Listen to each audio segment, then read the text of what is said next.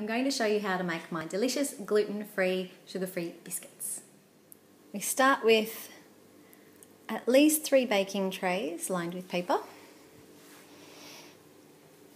Agave, I always use dark.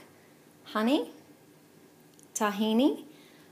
Uh, I always use the uh, hulled tahini and optional coconut oil.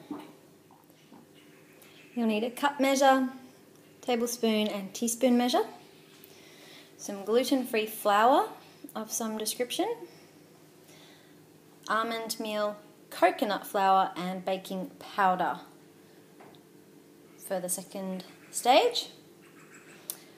Then whatever you like to put with your biscuits.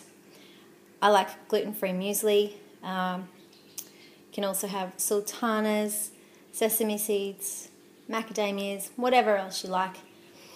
A very large bowl and wooden spoon. A beater or blender. Let's get started. Start with the tahini.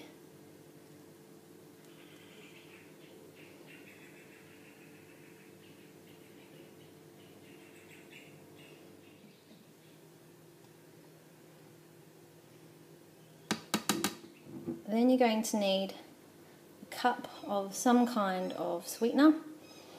I tend to have about two thirds of a cup of honey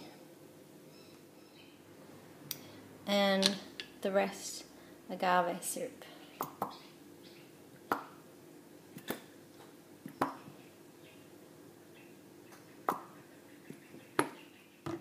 Next is a tablespoon or less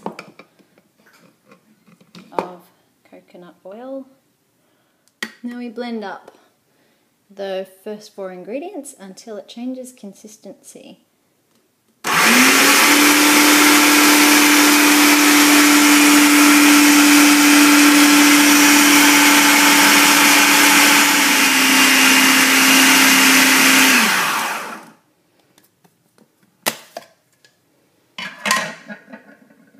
It has to be really gooey at this stage, and I always take a little bite, mm, just to make sure it's perfect.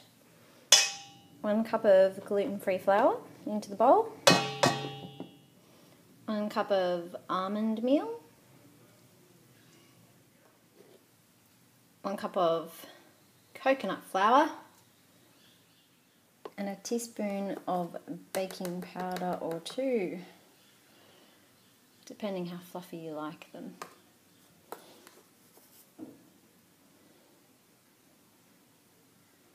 If you like shredded coconut, you can put half a cup of shredded coconut and half a cup of almond meal instead of a full cup. Stir it up. Now just add in two to three cups of the stuff you really like.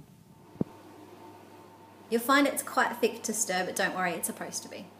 Now you just simply roll it into balls that will fit into the size of, of the palm of your hand and throw it on the tray.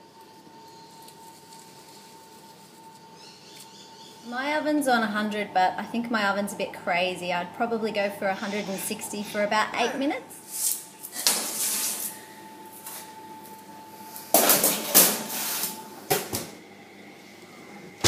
There you are, nice golden brown and they're very soft in the middle and Best part is they don't flake.